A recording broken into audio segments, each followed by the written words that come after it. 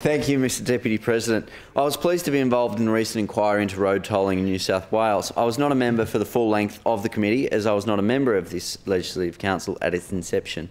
But I'm still glad I'm still glad that I got to be a part of the committee at its conclusion. I'm especially glad, Mr Deputy President, because it gives me yet another opportunity to stand up here and talk, talk about NorthConnex.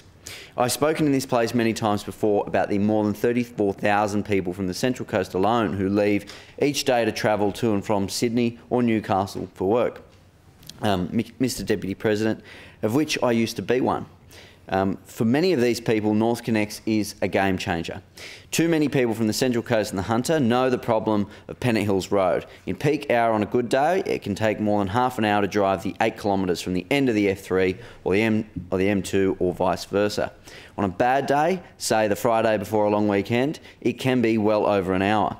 NorthConnex is going to be an incredible time saver for the tradies who make the trek to and from Sydney at 6am each day in their utes with their tools in the back. This is lost, however, Mr Deputy President, on the Champagne Socialists who are anti-road and expect a carpenter to carry his circular saw from job to job on a bus. NorthConnex is going to have a similar transformative effect that the Hawkesbury River Rail Bridge had when it opened in 1889. When that bridge opened, it was the final missing link in the railway between the, between the Central Coast and Newcastle and Sydney. It was, in fact, the last link between Melbourne and Brisbane. North NorthConnex is the last link allowing for traffic light free travel from Newcastle to Melbourne. NorthConnex is a road that has been imagined in various different versions since 1929.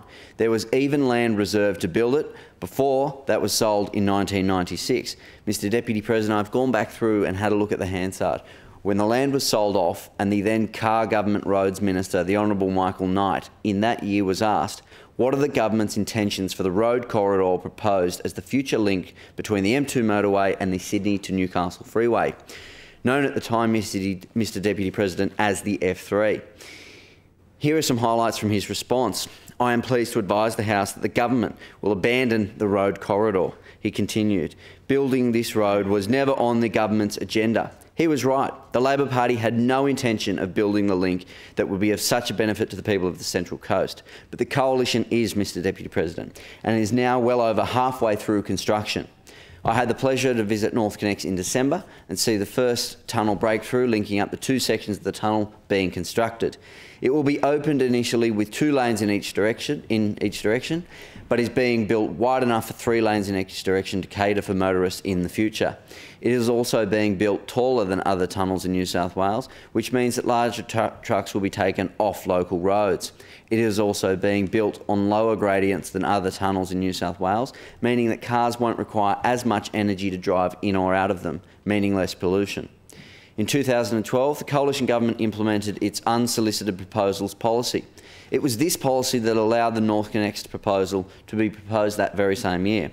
The inquiry found that NorthConnex as a project as it exists today originated from an unsolicited bid put forward by Transurban and Westlink M7 shareholders in 2012.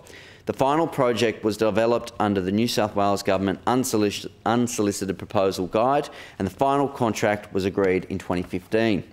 The inquiry heard that tolls on NorthConnex will represent about one third of the value of the project, which leaves a deficit of two thirds. Part of that shortfall to be made up through state and federal contributions of around $405 million each, as well as a concession to toll to the toll on the M7. I want to talk about these concessions because these are concessions that are an important way to fund motorways in, New South, in, in Sydney in a way that ensures it remains affordable for motorists throughout the city. For example, the Cross City Tunnel, which was approved by a Labor government, has a toll that is $5.67 or $2.70 per kilometre. If this same cost were to be applied to NorthConnex, the toll would be $24.30. Using concessions like these to build and improve motorways in New South Wales is nothing new. They have been used to fund improvements to many roads before, particularly the M5 upgrades. The alternative is no new motorways. In a dissenting statement, Dr Faruqi stated, the committee heard evidence that the dominant position of Transurban may lead to an unfair advantage in negotiating power. I'd like to dwell on that for just a moment. The inquiry heard from Mr Tony Harris, a former New South Wales Auditor General, who stated when Transfield was negotiating its multi deals in New South Wales, it was a superb negotiator. That is its job, that is its life. It lives and dies by its ability to write good contracts. He continued, These people are very, very skilled in ways that the public service is just not skilled. However, Dr Faruqi would have, and I quote, that the New South Wales Government leverage its capacity to finance infrastructure itself to retain it in public ownership, according to Dr Faruqi's dissenting statement. I have to say that I love it when the Greens are given the advice that the public service are not best placed to negotiate a contract but they believe the public service should be the ones taking on the much more difficult and an, an, enormous job of building the tunnel itself and delivering such a monumental piece of infrastructure. Mr Deputy President, we need to go back to 2011, when those opposite were booted from government. There was not one motorway under construction in Sydney. Not one. Zilch. Zero. Nada. Why was this? Well, the former Liberal Premier of New South Wales, Nick Greiner, is fond of saying that there are only two ways of paying for new roads. New roads can be funded using taxes that could otherwise be spent on schools or hospitals, or they can be funded using tolls or a mixture of the two, rather. Um, however, there is no third way. There is no magic pudding. The funds must have a source, taxes or tolls. There is just no third option. Was the reason that there were no new motorways under construction in 2011 because they had removed the toll from the M4 in the months leading up to the election, in the cynical hope of saving some Western Sydney seats instead of putting it to use in the construction of an M4 East, which the Labor Party had promised to build on multiple occasions? Or was it because building a substandard M5 East and not charging a toll because it had raided the, the state of any funds to build more infrastructure for the families and communities of the future? It is a wonderful contrast that we now have. Construction on the NorthConnex, the new M5 and M4 East is well advanced. We're in the late stages of planning the M4 M5 link and the new M12 to West, the Western Sydney Airport, and also have in the pipeline the Beaches link and stage one of the F6 extension. I also want to point out that this is in addition to the huge investment in public transport projects, including the Sydney Metro Northwest, as well as the Sydney and Newcastle light rail projects that are, that are under construction.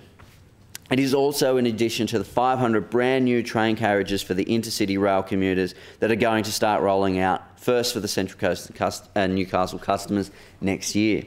The inquiry also investigated which motorways are subject to non-competition clauses. A non-competition clause is a clause that specifically excludes the government from improving public transport in areas around privately owned motorways. I'm happy to say that the inquiry found that none of the motorways that have begun construction during this government, including NorthConnex, are subject to non-competition clauses. None of them.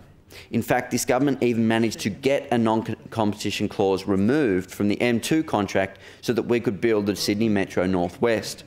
There is just one motorway that includes a non-compete clause in it to actively prevent public transport proposals, and that is the Eastern Distributor. Guess who snuck that clause into contract when they build the motorway? The Labor Party. I am proud to be a part of a government that is spending a record amount on infrastructure, a total of $80 billion over the next four years. I'm particularly excited for NorthConnex and the benefits that will flow from it opening next year to commuters and businesses on the Central Coast and in the Hunter. I'm very proud to be a government that is de delivering motorways and delivering budget surpluses as well. It is in stark contrast to those opposite whose record in office was more failed plans and budget deficits. Thank you, Mr Deputy President.